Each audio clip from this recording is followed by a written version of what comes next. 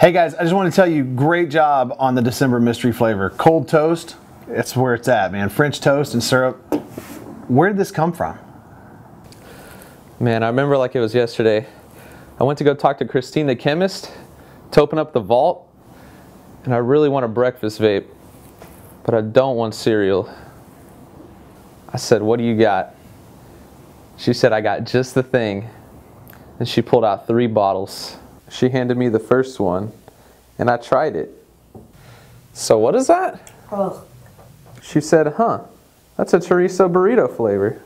And I was like, It does taste like a chorizo burrito, but it's not really what I'm looking for.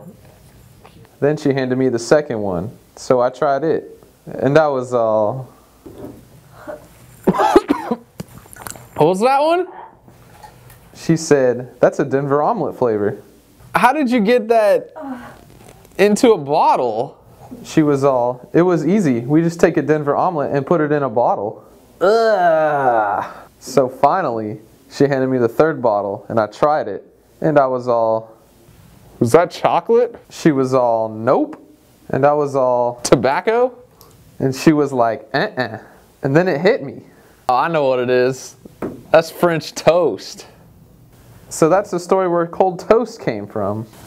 Well, wherever it came from, cold toast is awesome.